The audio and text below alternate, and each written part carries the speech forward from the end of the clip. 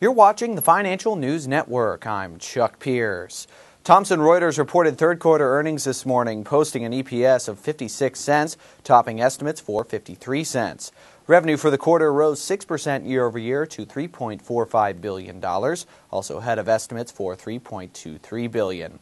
Thomas Glocer, Chief Executive Officer of Thomson Reuters, stated, quote, I am pleased with the performance of our business in the third quarter, a period during which we continued to grow revenues and expand margins. In the quarter, we also initiated a set of strategic product and organizational changes to address those parts of our current markets division that are not performing up to our expectations.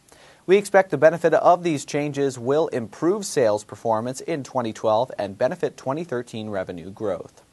Thomson Reuters has a potential upside of 20.3% based on a current price of $29.67 and an average consensus analyst price target of $35.70. For further updates, keep it right here to the Financial News Network. I'm Chuck Pierce.